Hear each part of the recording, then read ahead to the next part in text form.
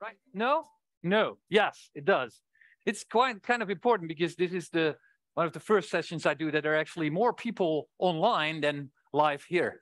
So welcome, fellow .NET developers, or at least I'm assuming. Um, it would be nice if my slides would be on screen. Well, I'll start with the who am I? Uh, my name is Ewout Kramer. The, ah, see, there's my picture. Um, I work for Firely, and I'm not just hosting dev days for, for, you know for my for my job, but I'm actually a software developer, and I work on the .NET SDK. I'm not the only one. We're a team of three at Firely working on the open source uh, .NET SDK. And what I want to talk about today is what we've done for SDK 5 it is a big change. Maybe we we try not to make even the major new versions um, painful to to switch to, but it doesn't mean that that there didn't that that that's not a lot of stuff that happened because there we did actually do a big restructuring of the SDK uh, for SDK five. And the reason that we did that is that the number the number of FHIR versions got a little bit out of hand. Um, when we started out with DS2.1 and DS2.2, uh, we figured, and, and, actually we weren't the only ones, just everyone working on FHIR back then thought that when we were going from SU2 to 3, we would just drop uh, DSTU2. But that was, of course, not true because by the time STU3 was there, DSTU2 was just getting started to get used. So there was no way we could sunset DSTU2 or DSTU1. Carlotta, buongiorno. Ok. Ciao. Sì, che facci... Sì. Ah, dunque, no, no, no, per la cosa è veloce comunque. Allora, quello che chiedevi, ti ricordi? No, cioè nel senso che quello è un meccanismo eh, che consente, come è stato detto, la cancellazione dell'inserimento. Cioè, eh, è un è un, ah. una I made this basic mistake. Yeah. This one. Eh, just I guess this one, right? This is. Okay. We keep on making this mistake. Well, there was nothing interesting to see if you're online so far, so that's good. Um, now it works. So uh, too many versions error was basically the problem. And um, it didn't get any better. So we said to each other, you know what, we'll support two versions. So by the time the next version is there, or we'll phase out DS2.2. Obviously that didn't work. And it gets even worse because by the time our, our 3 and R4 are in actual use, people start working on R5, right? So you have to have R5 as well. So by then we had copies of the SDK and branches for the STU2, STU3, R4, and R5, which meant that the poor maintainers, whenever they published a new version, uh, first off, we had to ask all maintainers and everyone who wanted to cooperate was with us to make the changes in the oldest version that we still maintain, say STU3, uh, so not on the newest one, and then we had to copy and paste everything forward from version to version. It's actually a miracle now I talk about it that we managed to keep that doing for about six or seven years. Uh, but publishing a new version of the SDK became a one to two day experience, which is unmaintainable. Uh, and then you hear the, the, people at Facebook and everywhere saying, oh, we can do this in one hour. And we're like, nah, we can't. Uh, to add to the pain, we published R4B. No one uses it, but we had to add another version to our thing. And of course, we're now working on R6. So the only thing we really managed to drop was the DSTU2. Otherwise, we're still maintaining all these versions. That had to change. And this was somewhere September last year that we looked in each other's eye and say, no more of this. Um, we need, we need a better strategy. Uh, so what I'm going to do, I'm going to tell you what we did. And the reason, you could say like, this is all internal, but we learned a lot about working with multiple versions of FHIR and how to solve these problems. So I, I do like to um, share my experience with, with doing this. So maybe that is very useful for your own projects if you have to support multiple projects, uh, use, sorry, for multiple versions of FHIR. So I give you a little bit more details about that and you'll understand where we're going, um, how to use this new SDK. It's hopefully simpler, at least it is for us. And um, as I said, it might help you on your own multi-version FHIR projects. Uh, about four years ago, we already noticed that um, our SDK actually consisted of a lot of stuff that was different from version to version. But if you look from STU3 onward, there was actually quite a bit that we could reuse across the projects, like the data types. They didn't change a lot. Um, we, we had uh, we did an interview yesterday with with uh, Lloyd and Graham and me on the history of FHIR. And one thing that we were proud of was the fact that Graham designed these data types and they didn't change a lot. So that was a, a good initial design. It was good for us too. So we we actually split those off a while ago, just like FHIRPath, uh, the serializers, and some stuff into a second repo. So we had at least one repo with the shared things across all versions. And then, of course, for every uh, version of FHIR, uh, a separate uh, branch in another repo. So we had the FileNet SDK and FileNet common. So we had to learn how to work with modules and submodules in Git, which was a learning experience. I don't know if I'm going to do it again. Uh, if you ever, just reach out to me and I'll tell you the pains and the um, um, of doing it. And one thing is that you have to sync the PRs, right? If you change something that unfortunately touches both the common stuff and the thing in a specific version of FHIR, your pull request reviewers have to make sure that they pull both at the same time. Otherwise, you have a build that doesn't even run. And that's painful, coordinating that. Um, still cumbersome to release, like everything sync, copy, paste, and, and, uh, and all that stuff. We had to forward and merge the changes from STU3 to 4 as I said, our committers sometimes committed in our four branch. They really should have in STU3 because we only had a process for bringing stuff forward, a mess. And working with submodules really hard. So 90% of our PRs were on the incorrect branch. Um, so we had to do something. So why in the first place did we copy and paste? Well, so it was naivety, thinking that stuff would go away. So we could just copy it and then let the other thing die. But also, um, for example, if you build a snapshot generator and the snapshot generator is built on top of structure definition, and structure definition really differs from STU3 to 4 and very much from 2. So because we had a structure definition specific to a FHIR version, the snapshot generators, and on top of that, the validators, everything depends on those specific versions. So we had no other choice than to copy and paste that code, or that's what we thought. Um, and then, of course, there's parts of the uh, SDK that simply depend on metadata, like the parsers. They need to know which classes to deserialize to. So if you want to say deserialize but deserialize, the deserializer has to know I'm an, I have to deserialize into R4. Um, and, and so you have to uh, build a hard, there was a hard link between the deserializers and, and the version of FHIR that we used. So all in all, a lot of copy and paste. Luckily, we were forced to think about a solution, otherwise we would have just gone on.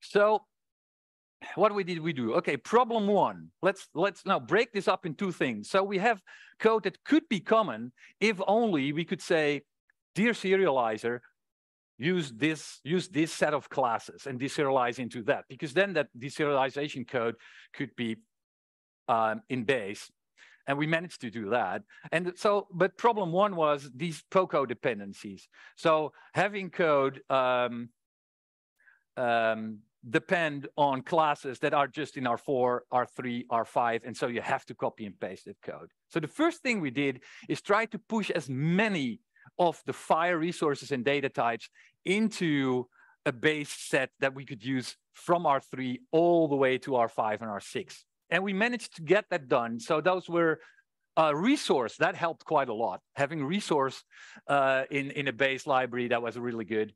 Uh, all the data types and their subclasses, operation outcome, value set parameters, bundle and binary. Actually bundle we did we only managed at the last moment. Uh, but we managed in r5 to get all these things or in in our in the release 5 of the sdk we managed to get all these things in a base set. And that helped a lot because all code then for example all terminology code based on value set we could at least reuse. And um, but painfully enough there's things that we we couldn't get uh, done across versions like structure definition and element definition code system capability statement, uh, they are too hard to be shared, which means that we still have like the validator and the snapshot generator, which are based on R4 structure definition, R5 structure definition, STU3, we still had to kind of, we thought, copy and paste that code. But it was already much better to have this set of classes uh, over to a set of base that we could reuse. Uh, so how did we do that? Because there are differences. If you, if you, you know, if you've worked with these things before, um, this is, if you can't read this, this is binary. And binary has, uh, binary from R3 to R4, I think. Uh, is that true? Yeah, since R4. So until R4, um, it was called, the, the binary content of binary was called content. And then from R4, it was called data. Um, so how on earth are we going to share that? So, so it is like this gr greatest common denominator. We're like, okay, then we'll make a class binary which has both. And um, we will mark in the metadata here, because we have the metadata here in attributes, we will mark this element is saying this is actually since R4. And also in the comments on top of the element, we generated, note, this element was introduced in R4, so do not use this when working in all the releases. Now I'm waiting for someone in the community say, I'll write a Roslyn uh, compiler extension so we can actually catch this as comp at compile time because of course now um, if you don't read the IntelliSense, uh, you could still choose the wrong element. But we, we figured that this was still worth doing because sharing binary brought so much advantages that the disadvantages of someone using the wrong element um, would outweigh uh, the problems. So now if you do the wrong thing, by the time you serialize or parse it, the parser will say, I'm running in an R3 context and I, I, have no idea what data is. So you, you will get warned, but that's at runtime, right? So a Roslyn compiler extension would be nice. But using these kind of since things here, that's this attribute in, in the metadata, helped us to at least erase away quite a few of the changes. I have another example here. This is bundle. Uh, so this is another kind of change where the relation element used to be a string, and in R5, it's now a code. Uh, and, and so we have a declare type metadata attribute. We've had that since ages, but it also has this since attribute. So at, it leads to this, um, in this way, we had a formal uh, way of at least knowing still which which was in R5 and R4. And the validators and the parser still enforce that. So that since attribute is really important.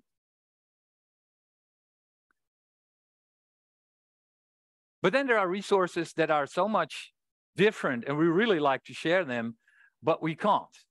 Uh, and for a long time, we had no solution for those. And we are like, okay, we'll just have to keep copy and pasting them. So we have an SU3 version, four, five, 4B, 6, 6.1, 6.2, who knows what's coming, 5C.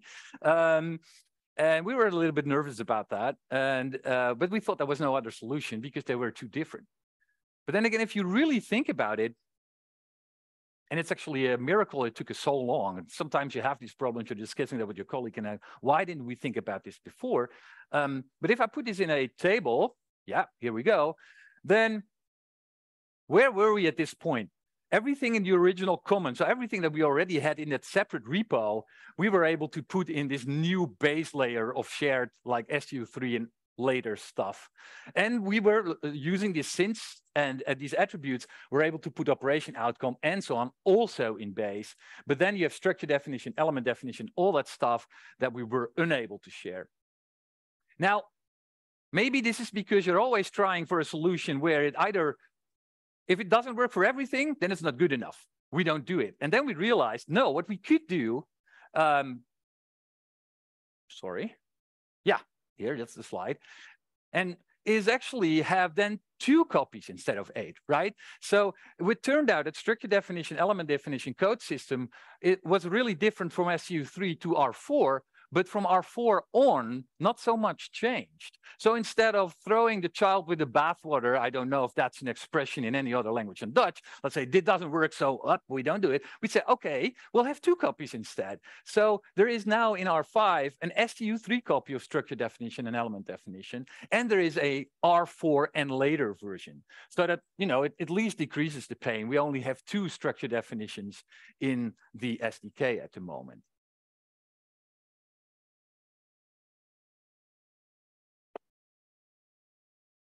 It's that's the kind of thing that's simple once you see it in a, in a slide, but like it took us ages to figure this out. And um, uh, so this means that we have a base and we have a thing called conformance, which has all the R4 plus stuff in it. All right. Another thing we needed to fix, we wanted one repo done with the submodules. And uh, that meant that we made, that we, that we took the, the repo we already had and instead of having a develop STU3, uh, STU4, R5, R6, just one branch called develop, yoo-hoo, and um, make one big solution with um, all the projects in it that we had. Um, and actually really have one project. So we now have a project called hl7.fhir.base. And that includes all the old namespaces and the stuff that we can share. So that's just one project, one assembly and it has the parsers, the serializers, FHIRPath, uh, the data types, everything in base, one project. Um, so bundle operation outcome, that are, those are the resources that we, as I showed you, were managed to get across all the versions. And then, of course, we have the R4 plus things, and that's the library called Conver Conformance, also known as R4 plus. So there's a second project called HL7.fhir.conformance, and that contains everything needed to run R4 and later. So if you're on R3, you can you can go by with just getting HL7.fhir.base uh, for the shared classes, and if you're doing R4, then uh, you need this you need this one. And then obviously there are resources that are completely different. I mean r5 has medication blah blah blah all these all these resources that are new uh, and, and even patient and all those those things. Those are still in separate su3 r4 r4b r5 project. Um, and so that means that there is, as I said, there is still for structure definition, both a copy in uh, HL7.fhir uh, conformance for R4 plus, and there is a copy of structure definition in STU3. Uh, but R4, R4B, R4, R5, those projects don't have copies of those anymore. They simply depend on HL7.fhir conformance. So uh, this means that that at any moment when I'm working on FHIR, there's just three pro three projects for me in scope, which is the version that I'm working on, conformance and base, and in one repo. Um, I must say that the first time we were doing PRs on our own repo, it felt like, it, it, is this the only thing we need to do? It is so good to just do a pull request on a single branch again, and it was it was a delight. It took us about uh, eight weeks to get this whole restructuring done, so it's quite a bit of work. But after we, uh, we're, we're we're we're quickly gaining time again. Now we've now we've done this. Um, so encounter, measure, medication, all that stuff is still still in the in the in those um, uh, projects. Now, for NuGet packages, what that does look like? We'll now have a HL7.fhir.base NuGet. There is an HL7.fhir conformance uh, NuGet that you don't need if you're doing STU3, but if you're doing R4 plus, and and uh, then there is uh, one uh, uh, NuGet per version of FHIR. What we also did is, and that was a that was a very a, a long-standing request, is take out this big spec.zip that co that contained the whole specification because not everyone needs that. The spec.zip uh, was was from times before we distributed the FHIR specification as npm files, and everyone is used to it. There's no way we could do away with that. I mean, there are some changes we could make in a major release uh, that would cause people to have to do some work, but throwing away spec.zip was going to cause so much pain that we kept it around, but we put it now in a separate NuGet package. So there's now a specification.data.stu3, R4, and so on that just contains one thing, and that's the spec.zip. So if you don't need that, you don't need to fetch that NuGet anymore, which saves you um, um, disk space mostly. And it does matter if you deploy this stuff in a lot of containers everywhere. So um, for backwards compatibility, we pull the trick that Microsoft taught us, and that is, how are we going to make sure um, that if people in their projects have a reference to a NuGet called HL7.specification.stu3, that it will still fetch these two things. And we did that with meta packages, which you might have heard about, but that's basically a package without new code. It has just references. So we published this empty package called hl7.specification.stu3 that does nothing but refer to these two new uh, these two new ones.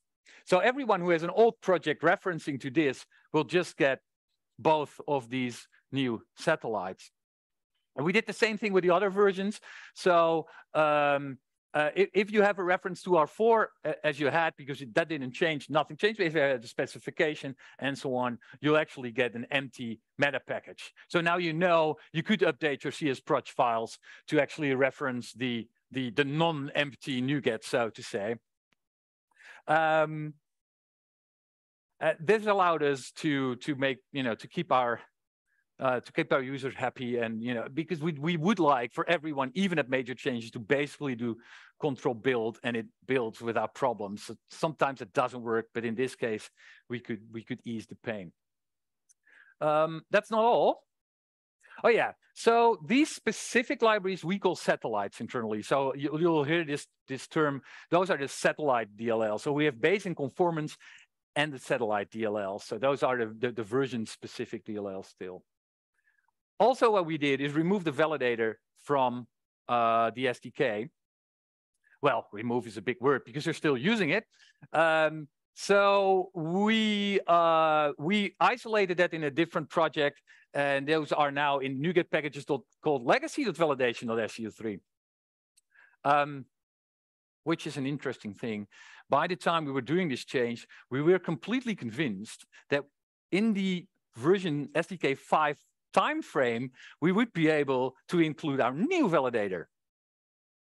Well, we didn't have time for it.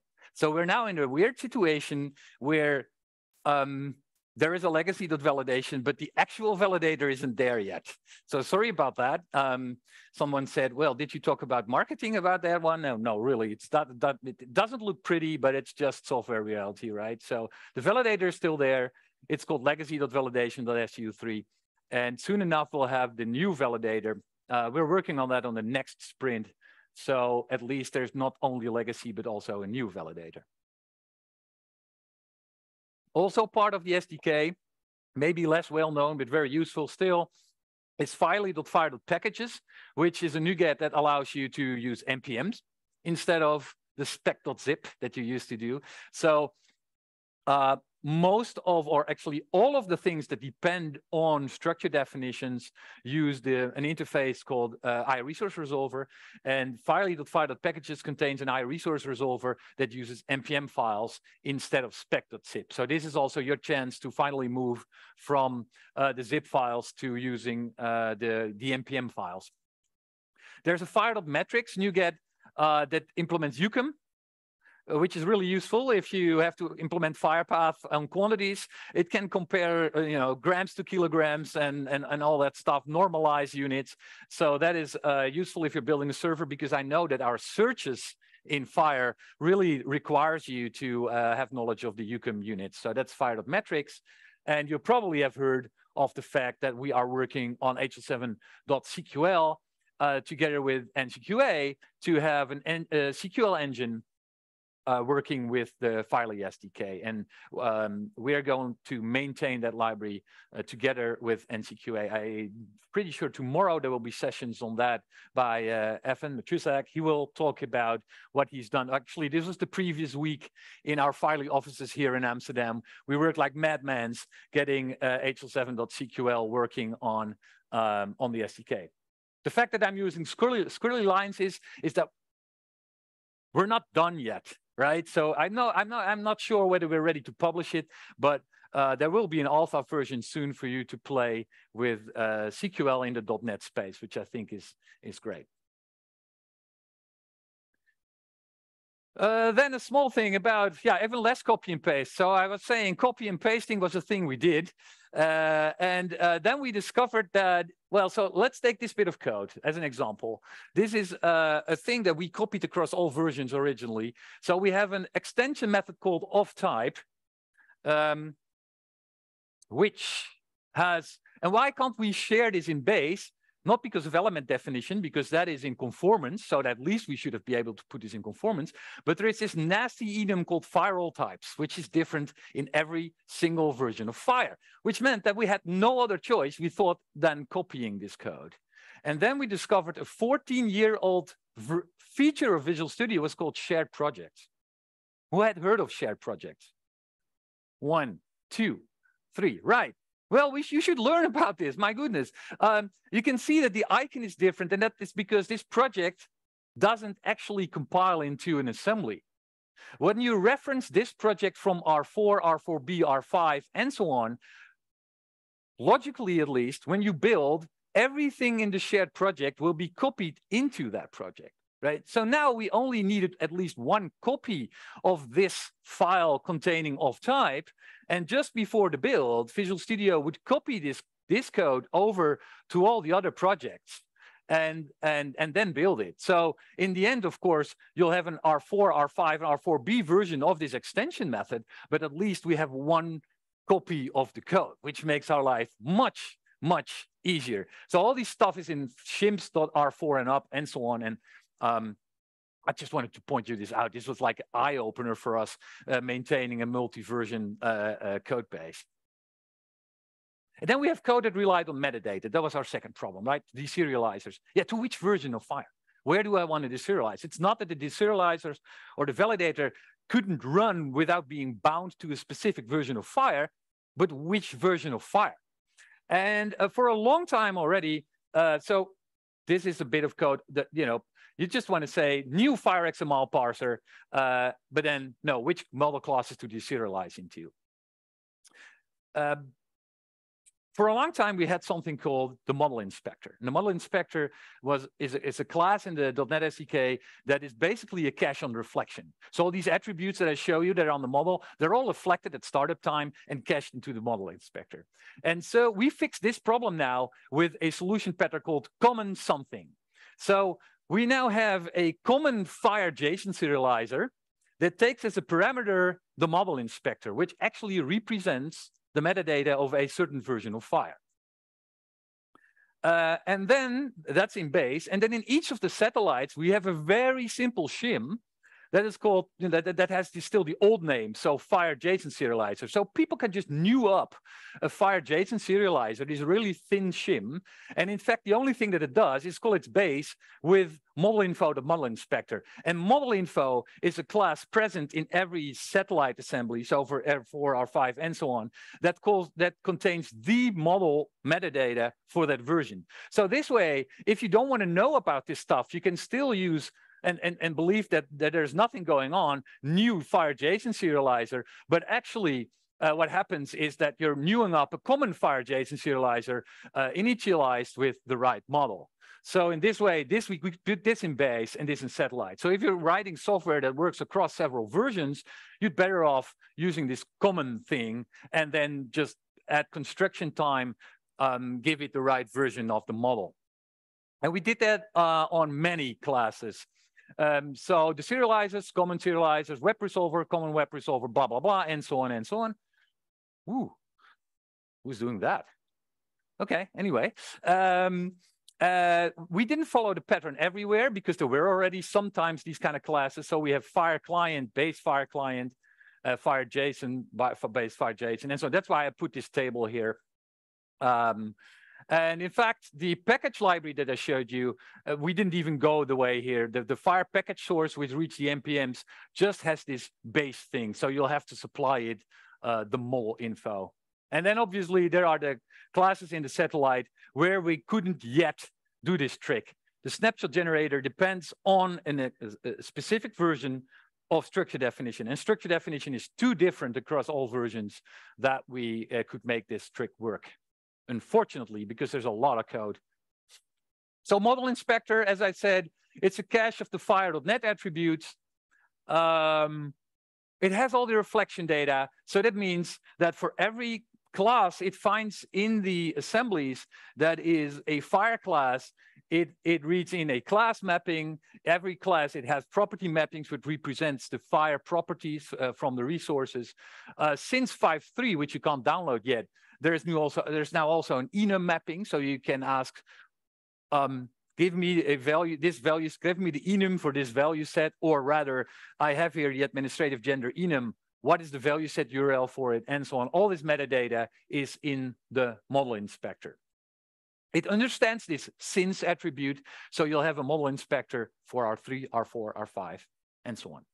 How do you find it? Well, I did show you, that's crap. Um, so there is uh, the easy way. If you have a, uh, if you are, for, for example, with an external alias, you have loaded up uh, all versions. You can you can actually do HL7 dot or whatever your alias model uh, HL7 dot FHIR dot model dot model info model inspector for a certain version or more dynamically you can do model inspector dot for assembly and then passing in it an assembly uh, where the patient class is, for example, and it will it will then load uh, all the dependent classes. And um, for some reason, this is really hard to read. Well, then, as, as I showed you, you can pass these into the constructors, or even so, for example, here, the new uh, JSON deserializer.forFire model inspector, and so on. Or the alternative, JSON serializer for FHIR, and then, then passing it in type of patient assembly. So this way we were able to um, reuse the serializers, the directory source, the common source, all those classes in the table, we were able to put all that stuff into base with a really thin shim uh, in these satellite assemblies. Even more code disappeared that way. Um, oh yeah, that's right. That's a good reminder. Sometimes reality uh, it, uh, while writing this presentation, I discovered that model inspector.for assembly doesn't really work correctly. So we'll, I'm fixing that for the 5.3 release.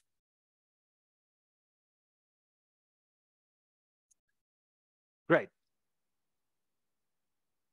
It's nice. I have a bit of time for this extra uh, because also introduced has nothing to do with shared code is um, I also discovered while doing this, or we discovered that most of the time, the fact that you need this separation between a shim and a base class is because you need the model inspector, as I showed you.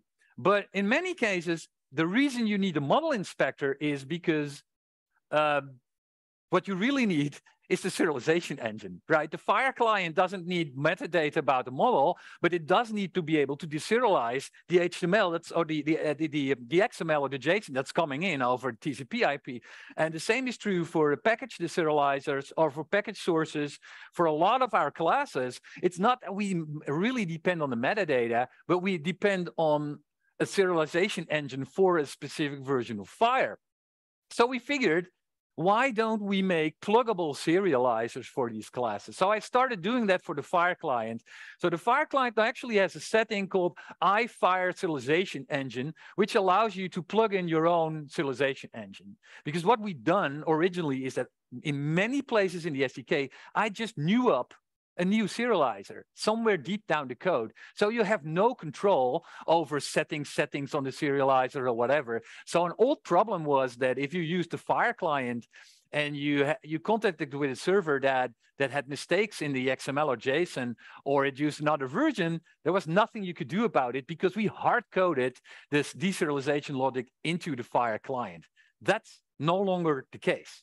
There's now this iFire serialization interface that um, that you can plug. And that finally solves, and we've discussed this problem so many times at the workgroup meetings, uh, how can we configure a deserializer to be a little bit more lenient or more strict if we want to? Uh, um, and so now you can do stuff like FHIR Client with strict serializer. Give me errors for every single thing you know about with lenient serializer, which means as long as there's no data loss, ignore the errors with backwards compatible serializer, which means allow unknown enums, uh, allow unknown uh, properties on uh, resources. And then finally, we have the ostrich serializer. I don't care about the errors. Just give me whatever you can parse from the resource. Uh, and you can obviously write your own FHIR serialization engine as well.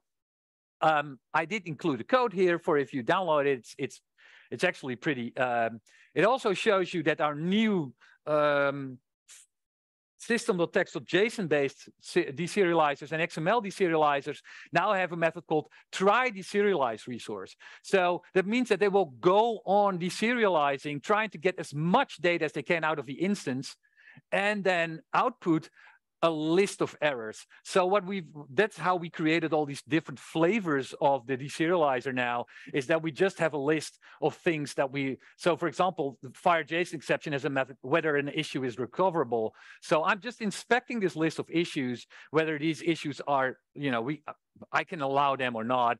And then depending on that, decide on whether I'm actually going to throw an ex a deserialization exception or not. So now you have full control over um, over what you want to allow uh, for deserialization.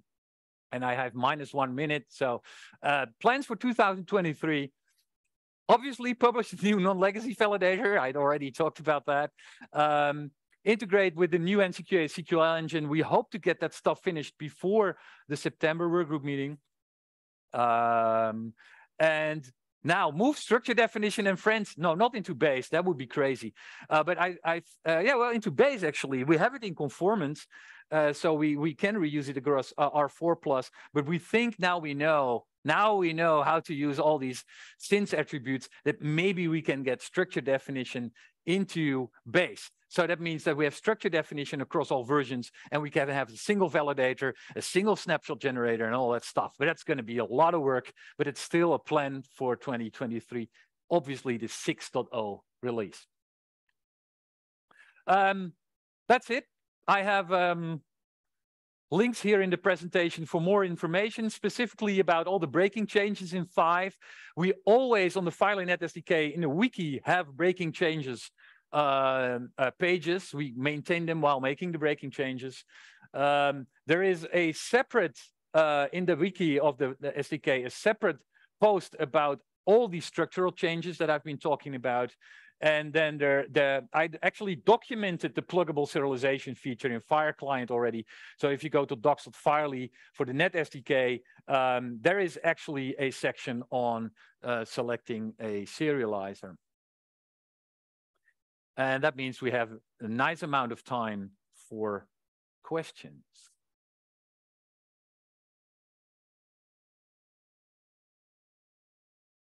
Hi, very interesting to see how you restructured everything. Um, I'm curious about the the options you didn't choose for this, because um, I, I hear this problem. The first thing that pops into, pops into my mind is if defs everywhere, but obviously you didn't choose that. Is it something you uh, uh, thought about if defs uh, or was it uh, yeah so so originally or? we didn't need if defs uh, because of the way because we copied everything right? It, when it was ds2 time uh, it was so and ds2 ds2 3 was so many different that we didn't even consider if defs or anything. And by the time R4 came we were so much in copy mode that we didn't do it. Um, now we have a few. So in this shared code bit uh, sometimes we do need an if def because we can't we, we really want this shared project thing but yeah there are slight changes between the versions. So there's there are a little bit if defs now uh, but we didn't really need them in base at all uh, and not in conformance. So they're they're they're pretty minimal. Yeah. Better not to have them because yeah. it's, it's, it's better not to have them right? Because you need you we do test the deserializer diligently across all versions because of the if defs we have to right? Yeah Any other questions? Are there questions online? Because there's there's more audience online than there's here, so we can check Kuva here.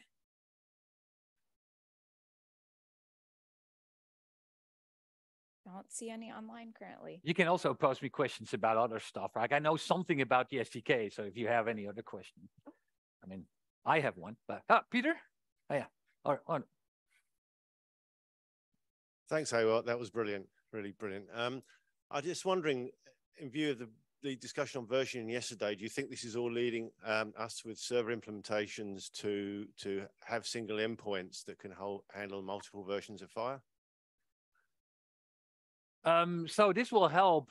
Uh, this will certainly help at uh, at this at this moment to have multiple endpoints for R3 or 4, 4 and R5, but uh, I think in the end, I hope you'd only need uh, That's a promise. Like we only need the latest R6 uh, version of the SDK to be able to read R5, R4, and R uh, and R4 stuff or something. Or at least we need the latest, say R7, to be able to read R6 and R5 things. So you don't you you wouldn't actually uh, need multiple endpoints. It, the whole multiple endpoints discussion is really interesting because, as I said yesterday um, during some session, is that we have been trained to think that the differences between the releases are so big that we really need multiple endpoints.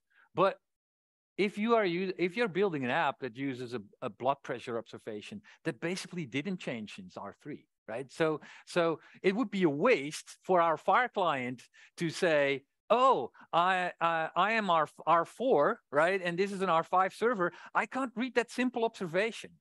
Uh, so already we have in, a, new setting in the FHIR client now where you can say, don't do this version check. I am taking the risks, right? I want to talk to this whatever version uh, of, of this of this server and I'll I'll deal with the differences because I know that my observation my needs for observation as a client are so simple that I don't care. Uh, and I and I and um, but that's a whole process we all have to go through, uh, and maybe that means in the end that the, the whole multiple. So the fact that you have an endpoint for a specific release of FHIR, I hope that will over the years slowly that necessities will slowly disappear. But until that time, we need this stuff, right? Yeah. Yes, yes, yes. It, it is, we're already, you know, stepping for, that's why we call, that's why in the end, we call this stuff conformance, not R4 plus, because we believe that in the end, you just need a conformance in the base library, right? That's, that's, that's, that's the end goal. And maybe at, at some moment we have base conformance and satellite, and that's the only thing you have to worry about.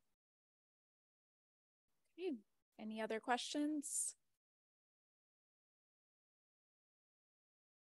Great, thank you, Ewout. You're welcome. Yep.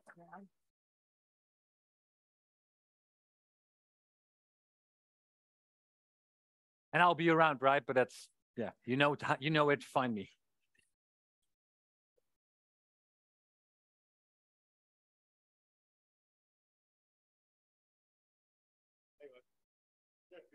Martin Fowler I think he's probably great at 21st